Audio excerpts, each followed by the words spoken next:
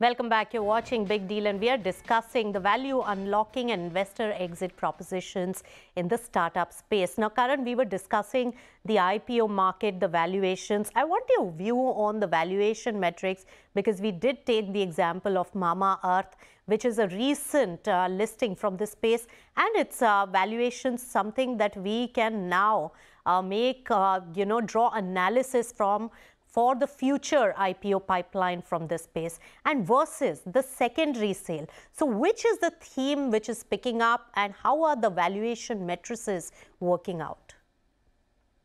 Sure. Uh, so Nisha, the, the good part is that the industry, especially on the tech side, and most of the IPOs that we expect, we will see far more on the consumer side of it. We'll see fewer on the on the B2B, you know, SaaS side. So on the consumer side, the good part is the the conventional industry players are there's a lot of listed peers.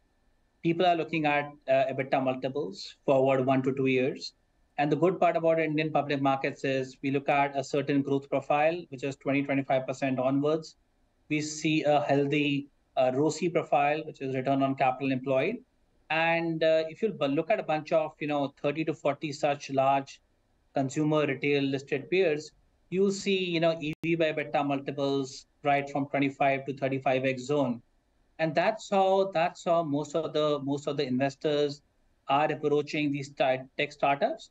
Obviously, they're applying these multiples more on what the stable state EBITDA of these companies could be in the next uh, 12 to 24 months, and then discounting it back.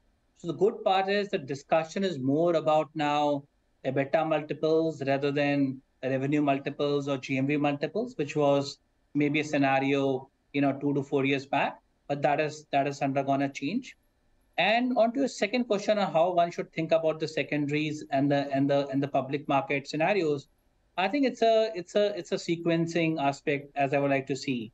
See in India, companies would always take a bit longer, uh, you know, in their journey to list, which means you know uh, how a typical uh, VC or a private investor, the investment time period that they would assume for for them to see an exit in a company. In India, it could be a couple of years longer than uh, a say a mature market like the US, which means that if they are you know four to five years into their investment journey in a company, then secondaries are an interesting uh, interesting option for them to sell part or large portions or even full secondary stake to another uh, mm. private equity or a secondary focus fund.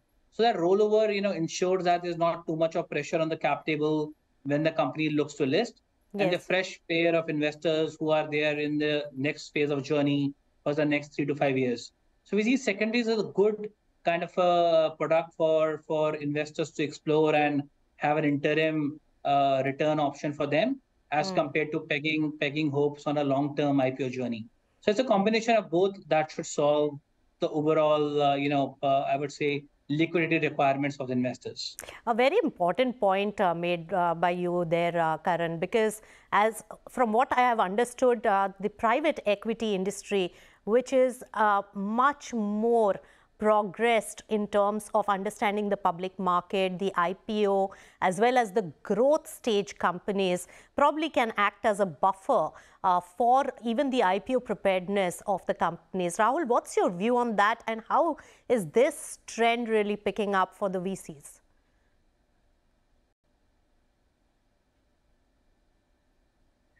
Nisha, fortunately in our case, we do have a longer time horizon. So our funds are typically 10 plus two years. Uh, what this means is we can stay with the startups at least from seven to 10 years. And if need be, extend that journey as well. Uh, so if, if we think that the company can go IPO in, let's say, 12, 14 years also, we are perfectly open to staying along with that. Uh, giving or getting some secondary exit has a different motivation. It is less to do with is the company taking too long. It is more to do with providing some liquidity to our own investors. And we actually did that in Mamaearth also in 2020. I think we took a small stake uh, that we sold, but stayed with uh, the company for a larger stake of ours.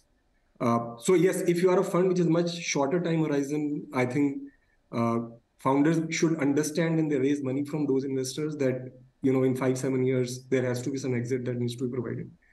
Uh, in our case, fortunately, that's not needed.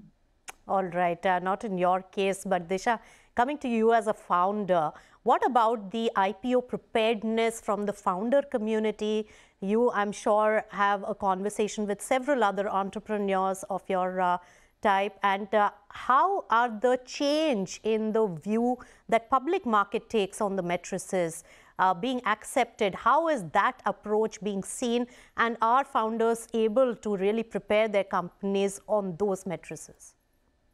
Um, I think, I think uh, as Karan and Rahul both have said that, you know, uh, a lot of things have changed in the ecosystem in the last two to three years. Uh, the matrices that we were looking at two, three years back are not something that we were so keenly looking at right now. Of course, you know, growth is important, top line is important, but I think uh, start uh, founders are also realizing, and I think the overall ecosystem is also realizing this that if in five to seven years you have you want to go IPO as a company, uh, then there are a few more matrices that you need to look on, and the most important one of them would be, of course, capital efficiency and being EBITDA positive, as you know, Karan was saying, because that's what public markets values the most, and that's the change that we are also seeing across it. And I think uh, at Zouk, we have always taken pride in being capital efficient for the very long time. And I think that's what that's how we are building our business. Given Nisha, uh, Zouk is our life's work. And uh, I think we want to take Zouk uh, IPO in next, you know, maybe five to six years. And uh, now we understand from all the IPOs which has happened in the last two years that it does take its own time to prepare for the IPO. And the matrix, like the preparedness might happen two years back from the date of IPO that you want to go, but the whole matrix focus has to start from the very, very beginning, maybe, you know, five, six years before right. when you think no, that's that's right. Uh, you have to be prepared for right from the beginning, and there are several aspects to it uh, uh, in terms of cash generation, EBITDA positive, and also the corporate governance standards. Uh, very quickly, Karan, final word. You said uh, that uh, M&A is not something that is ringing in well in this particular space. Any particular view on that? And uh, do you see a theme picking up even in terms of consolidation, VC-led consolidation, anything that you see on the horizon very quickly? Sure. So Nisha, we see you know uh, a lot more scrutiny on capital deployment of larger companies by their boards as to you know uh, where they believe uh, they could be good acquisition targets. I would say uh, market consolidation in terms of equity swaps between companies could increase, uh, you know, uh, marginally over the next, I would say, year or two years. However, very large cash M&A exits is something that you know we believe in in some of the key sectors that we track closely. We don't see that as a as a big outcome. Yes, there could be smaller, few hundred million dollars worth of uh, smaller acquisitions that yes. companies could do for cash, but yes. large consolidation would largely be with mergers yes. and largely more equity swaps, less of cash deployment. That's right. Uh, okay, so consolidation could be um, there with share swap. But uh, one thing I wanted to just put across that the public markets want what's the bottom line.